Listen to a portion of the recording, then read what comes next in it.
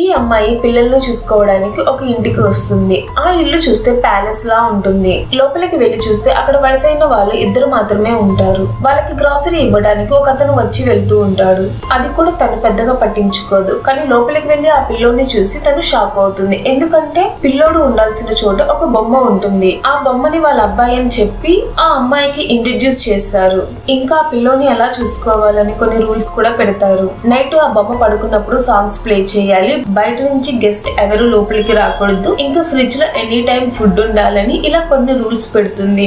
వాళ్ళు అంత స్ట్రిక్ట్గా రూల్స్ చెప్పేటప్పుడు వాళ్ళని ఆ బొమ్మను చూసి తను భయపడుతుంది. వీళ్ళు ఎందుకు ఇంత విచిత్రంగా బిహేవ్ చేస్తున్నారు? వీళ్ళకి ఏమైనా పిచ్చి పట్టిందా అని అనుకుంటుంది. ఆ అమ్మాయి వచ్చిన కొద్దిసేపటికి తన షూ కనిపించకుండా పోతుంది. అప్పుడు ఆ బామ్మ ప్రామ్స్ దా తీసుకెళ్ళుంటాడు. చాలా అల్లరి పిల్లోడు అని చెప్తుంది. ఇదంతా విన్న ఆ పిల్ల ఇంకా భయపడుతుంది. తనకున్న కష్టాలకి వన్ మంత్ అయినా ఇక్కడ స్టే చేయాల్సిందే తప్పదు అని తను ఉంటుంది. నెక్స్ట్ డే హీరోయిన్ బొమ్మ రూమ్కు వచ్చి చూస్తే అక్కడ ఉన్న థింగ్స్ అన్ని చల్లా చెదురుగా పడి ఉంటుంది. ఆ బామ్మ ఆ బొమ్మని తిడుతా ఉంటుంది. అది చూసిన హీరోయిన్కి ఇంకా భయం ఎక్కువ అవుతుంది. అప్పుడే వాళ్ళ బామ్మ హస్బెండ్ వచ్చి మేము బయటికి వెళ్తున్నాము రావడానికి కొన్ని రోజులు అవుతుంది. మా అబ్బాయిని జాగ్రత్తగా చూసుకో ఆ రూల్ పేపర్ ఫాలో అవ్వు. నువ్వు మంచిగా ఉంటే మా అబ్బాయి మంచిగా ఉంటాడు. లేకుంటే అని చెప్పి ఏదో చెప్పబోయి ఆపేసి వాళ్ళిద్దరు అక్కడి నుంచి వెళ్ళిపోతారు. కానీ వాళ్ళు వెళ్ళిన వెంటనే ఇది నార్మల్ బొమ్మ కదా దీని కిందకి ఇన్ని రూల్స్ అని ఏది ఫాలో అవ్వదు. నెక్స్ట్ డే గ్రాసరీ ఇవ్వడానికి ఒక అతను వస్తాడు. అతనిని అడుగుతుంది అసలు ఏమైందని? అప్పుడే అతను చెప్తాడు ఒక ఫైర్ యాక్సిడెంట్లో వాళ్ళ అబ్బాయి చనిపోయాడు అని ఆ బొమ్మని వాళ్ళ అబ్బాయిగా వాళ్ళు ఊహించుకుంటున్నారని. కానీ ఇటు సైడ్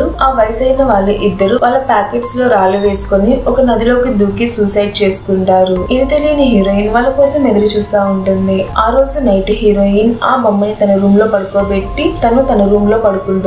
కానీ బయట ఎవరో నడుస్తున్నట్టు సౌండ్ వస్తుంది. ఎవరో అని బయటకు వచ్చి చూస్తే ఫస్ట్ డే కనిపించకుండా పోయిన తన షూ ఇప్పుడు బయట ఉంటుంది. ఆ బొమ్మ రూమ్కు వచ్చి చూస్తే తను పడుకోబెట్టి వెళ్ళిన ఆ బొమ్మ సిట్టింగ్ పొజిషన్లో ఉంటుంది.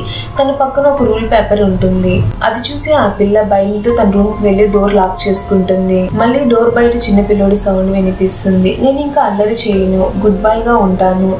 ఇదిగో నీ ఫేవరెట్ ఫుడ్ అని చెప్పి ప్లేట్ అక్కడ పెట్టి వెళ్ళిపోతుంది. హీరోయిన్ భయంతో ఆ డోర్ ఓపెన్ చేసి చూస్తే తను రోజు తినే ఒక శాండ్విచ్ ఉంటుంది. దాన్ని చూసిన ఆ పిల్లకి ఆ బొమ్మ మీద ఉన్న భయం కొంచెం కొంచెం పోతుంది. ఆ ఫైర్ యాక్సిడెంట్లో చనిపోయిన పిల్లోడి ఆత్మ ఈ బొమ్మలో ఉంటుందని తను అనుకుంటుంది.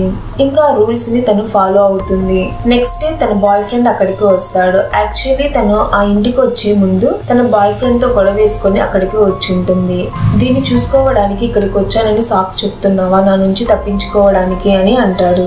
బాయ్ ఫ్రెండ్ మీద ఏదో పడుతున్నట్టు అనిపిస్తుంది. ఏంటని చూస్తే బ్లడ్. దాన్ని చూసిన అతను గట్టిగా అరుస్తాడు. హీరోయిన్ తన బాయ్ ఫ్రెండ్ దగ్గరకు వచ్చి చూస్తే ఆ బొమ్మ అక్కడ చైర్లో కూర్చుంటుంది. తన బ్యాగ్లో చాలా చనిపోయిన ఎలుకలు ఉంటాయి.